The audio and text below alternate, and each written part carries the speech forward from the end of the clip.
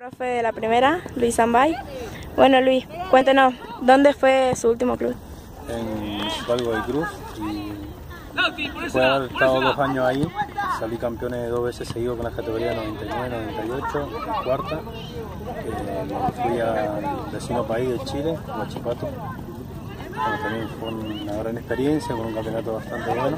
Salimos campeón en Chillán, en Chillán de, de seguí. La oferta fue grande y buena, pero por cuestiones familiares volví a la Argentina. Bueno, muy bien. ¿Cómo fue su llegada al Club Real Mendoza? Eh, nada, a través de Diego Torrejón, un amigo que eh, mostró el proyecto que, que, tenía para el club y bueno, me animé a, a poder volver a dirigir en primera. Buenísimo. ¿Qué tiene para, para ofrecerle a este plantel?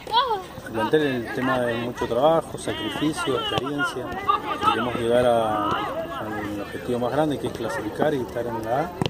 Así que bueno, estamos trabajando firme, con, mucho, con un plantel muy joven, eh, con muy corta experiencia, pero bueno, vamos a tratar de hacer el mejor papel y lo que le ofrezco es toda la experiencia como técnico, como jugador de primera división para que este plantel sume cada vez más.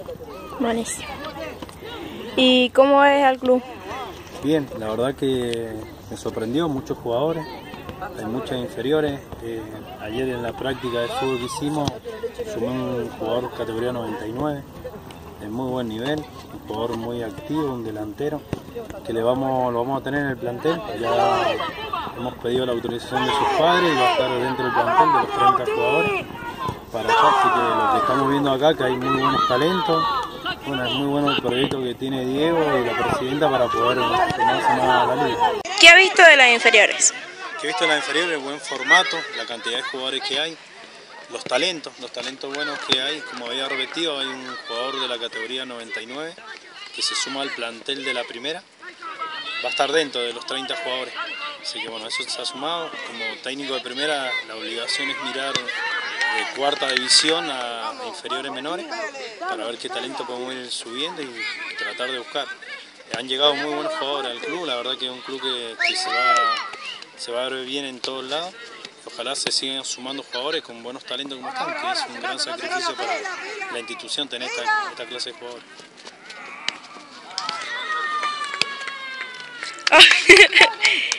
¿Se comenta que va, que va a haber talentos para llevar a Buenos Aires? Sí, los talentos que, que, vamos a llevar a Buenos Aires, tengo soy representante, eh, tengo muy buena comunicación con Argentino de Quilmes, con Defensa Justicia, eh, también con Independiente. La, la, primera versión que hemos marcado con Diego es buscar los talentos de acá y dirigirlos a llevar a Buenos Aires para que se puedan terminar de formar como jugadores. La gran posibilidad esa la vamos a hacer a través de un formato de jugadores y el seguimiento que lo va a pedir cada club de Buenos Aires para poder, como tanto eh, Chile, que tenemos la gran posibilidad de, de llevarlos a Huachipato, Puerto Región. Buenísimo. ¿Cómo ve a los rivales que les tocó? Difícil, la verdad que, que por más que estén en la B, son eh, equipos que ya están en, han estado en primera el, el año pasado, han estado trabajando ya en primera, ya han sabido lo que han tenido un club y tener jugadores. A cambio acá no, acá estamos sacando jugadores jóvenes que nunca han tenido experiencia en primera y bueno, eh, va a ser mucho más difícil, por eso se lo, lo, vemos difícil a los demás planteles. Pero bueno, con el buen trabajo que estamos haciendo creo que, que podemos llegar a nivel de ahí. ¿Y cómo ve esta institución? La institución, la verdad que muy bien, me sorprendió, me sorprende mucho de lo que es la primera que estamos armando, hasta la escuelita que hay, la escuela de fútbol femenino también, es algo muy formado que está, muy organizado. El tema de los espacios físicos, hay mucho espacio físico, hay profe para cada, para cada categoría. Entonces se está haciendo bastante bien el trabajo y me parece que está muy bueno que la institución esté buena. Que esté buena, que trabaje por los chicos que están en la calle, sacar los chicos que, que estén en algunos lugares marginados. Entonces está muy bueno lo que hace la institución, por eso quedé, decidí quedarme acá en este. Bueno, ¿va a jugar en la primera con los jugadores de la institución o va a convocar jugadores de otro lado? No, la idea es tener los jugadores que tenemos.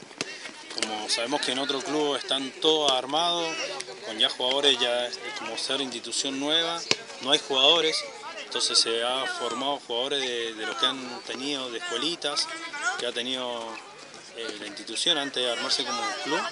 Así que bueno, de traer es poco lo que iremos a traer, quien se quiera arrimar a este club y, apoye el proyecto que está, seguro que vamos a poder traer, pero la prioridad van a tener y los jugadores de acá, de la primera. Bueno, y última pregunta, ¿hasta dónde piensa ya con este plantel?